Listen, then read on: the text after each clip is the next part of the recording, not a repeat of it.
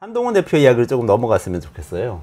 한동훈 대표는 독대 아닌 독대인가요? 어떻게 봐야 되지? 지금 차담. 형식은 차담. 차담. 음. 네, 비서실장 배석 아래. 4시 반 네. 차담 밥을 먹기 싫다는 거지 12시도 아. 아. 니고 6시도 아니고 어, 저 XX랑은 절대 어, 목구멍에 내가 밥이 안 넘어갈 것 같다 이런 거 그리고 밥 먹으면 길어지니까 음. 그래서 정진석 앉혀놓고 또 딴 말 할 수 있으니 명확하게 해야 되겠다라는 건데 그냥 한동훈은 결심만 남은 것 같아요 제가 보기에 음. 오늘 제2부속실 설치한다는 얘기 나올 것 같고요 특별 감찰관 도입하겠다라는 거는 옛날부터 얘기를 했어요. 국회가 빨리 결정해 달라라고 얘기 말만 하고 있는데 어쨌든 뭐 이제 합의가 안 되니까 그것도 특별 감찰관 얘기도 다시 할 거예요.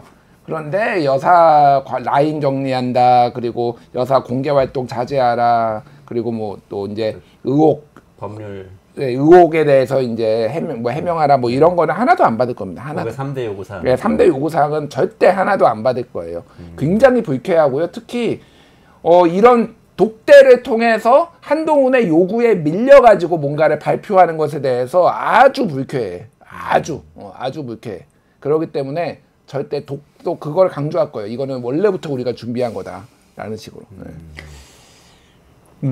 김종인 평론가님 말씀이 정확한 것 같고요. 대통령실 분위기도 사과는 무슨 개뿔이나 무슨 사과 막 이런 분위기인 것 같아요. 그래서 저는 오늘 오후에 이런 속보를 보지 않을까. 58분 만에 끝나. 58분 동안 윤석열 혼자 떠는 거야, 그러면? 야, 이제 기다 가 이제. 이게 다 들었지 가. 이제 58분은 쉽게 채우시던데 지난번에 보니까 58분 만에 끝나. 이제 저녁 만찬 자리 없이 되돌아가. 빈손 회동.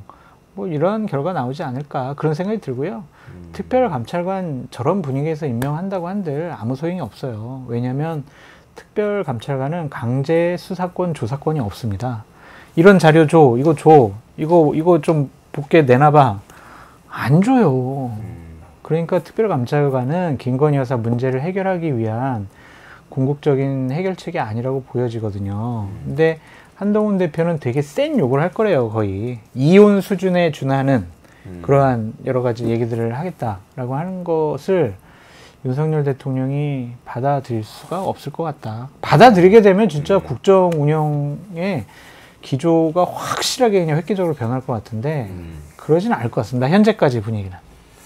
근데 그러면 파국으로 가는 거 아닙니까? 바로 나와서 가겠죠.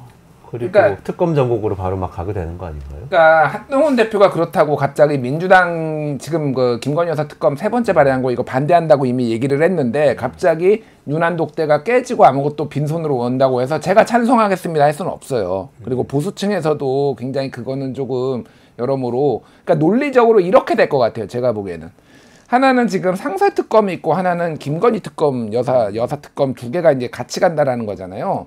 상설 특검 쪽으로 협조를 하는 쪽으로 하나가 갈 가능성 하나 일, 일안 이안 이안 같은 경우에는 그러니까 본인이 꼭 어, 이거를 어, 특검에 찬성하겠다라는 게 아니라 자유투표를 제안할 수 있어요. 그러면은 이제 추경호는 차, 아, 당론이다 이렇게 반대다 이렇게 얘기했는데 추경호랑 그래서 한동훈이랑 세게 붙고 약간 당이 혼란스러운 가운데 사실 느슨하게 좀 풀어주는 분위기. 지, 지난번에 완벽하게 당론 둘 다 당론을 얘기해서 반대를 해야 된다고 했으니 의원들이 여지가 없거든요. 내가 왜 여기에서 총대를 매서 내가 두드려 맞아야 돼? 색출당해야 돼? 이런 분위기가 있었는데 한동훈만 풀어줘도 사실은 약간의 이완이 많이 될 거예요. 그러면 무슨 일이 벌어질지 모른다.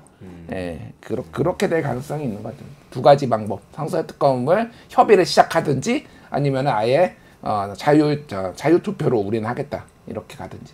상설 특검은 그게 어떻게 되는 거죠? 절차가 상설 특검은 일단은? 두 가지예요 지금 그러니까 세 가지인데 뭐 하나는 출석 안 하는 증인 얘기는 뭐 안 중요한 얘기고 하나는 저기 삼부 어, 주가 조작 의혹 그리고 저기 그 관세청 직원 무마 의혹 요 두 개는 지금 상설 특검으로 하고 나머지만 다 14개 의혹은 지금 다 김건희 특검으로 법안으로 만든다는 거거든요. 뭐가 됐든 이거는 어차피 한 번은 다 해야 돼요. 어차피 한 번은 다 해야 되는 거라서 법안은 또 만들면 됩니다. 사실 상설 특검 이게 협, 협상에 들어가기 시작하면은요. 그러면 이거 말고 딴 거 상설 특검 하자. 이렇게 갈 수도 있는 거예요. 그러니까 뭐 그거는 별로 중요하지 않고 그럼 협상에 들어간다는 것 자체가 중요해질 수도 있겠다. 아, 네. 아. 그 현재 민주당 특검안을 그대로 받지는 않되 음. 상설 특검 협의를 시작하는 걸로 근데 한동훈 그 대표가 다음 행보를 할 수도 있겠다. 협의의 권한은 사실은 추경호 원내대표한테 있어요. 아, 한동훈 대표한테 있는 게 아니라 그래서 여러모로 추경호랑 한동훈이 이제 부딪히는 모습들을 우리가 계속 볼 거예요. 그러니까. 근데 결국에는 국회에서 본회의장에서 표결할 거잖아요. 근데 한동훈계 20명 만찬 참석자들 중에 일부가 한 8명 이상 이탈표 나오면 음. 뭐 특검 부분은 통과될 수 있을 통과될 거고 수. 상설 특검이야 뭐 민주당 혼자 힘으로도 통과시킬 수가 있으니까 별 문제는 없을 것 같아요.